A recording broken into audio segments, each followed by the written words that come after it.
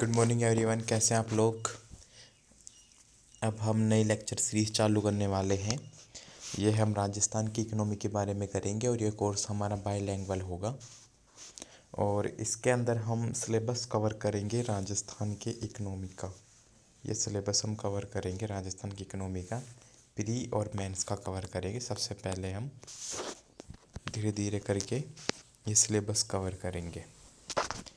और उसके बाद मेंस के सिलेबस की अगर बात की जाए तो हमारा सिलेबस है। Agriculture, horticulture forestry dairy animal husbandry या भी स्पेशल रेफरेंस राजस्थान राजस्थान के परिप्रेक्ष्य में हमें चीज़ पढ़नी है। फिर हमारा जो दूसरा टॉपिक दे रखा है सिलेबस के अंदर वो है इंडस्ट्रियल सेक्टर जिसमें हमारी ग्रोथ और ट्रेंड्स के बारे में बता रखा है। फिर हमारा growth development and planning with special reference to Rajasthan. Rajasthan के परिप्रेक्ष्य में ग्रोथ डेवलपमेंट और प्लानिंग के बारे में हमें पढ़ना है।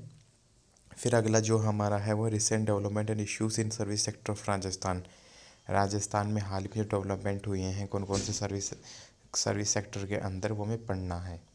फिर अगला टॉपिक हमारा दे रखा है major development project of Rajasthan their objective and impact कि राजस्थान में कौन कौन से डेवलपमेंट प्रोजेक्ट हुए हैं और उनके ऑब्जेक्टिव क्या था और क्या उनका इम्पैक्ट पड़ा है।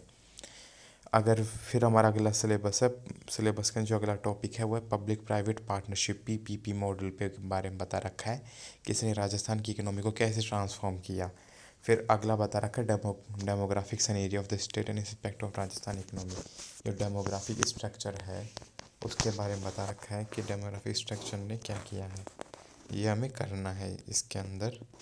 फिर अगर हम बात करें अगर प्री सिलेबस की तो प्री सिलेबस के अंदर हमारा macro overview of economy, major agriculture and industrial and service sector issues, ये हो जाएगा। ग्रोथ डेवलपमेंट एंड प्लानिंग है, इंफ्रास्ट्रक्चर रिसोर्सेज है, मेजर डेवलपमेंट प्रोजेक्ट्स हैं, और कौन कौन सी गवर्नमेंट की वेलफेयर स्कीम चलाई गई है S C S T backward minority to disable persons के लिए।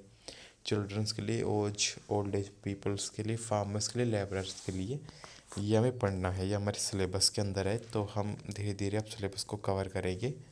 और आपका पूरा सिलेबस कवर होगा प्री से लेके मेंस लेवल तक का।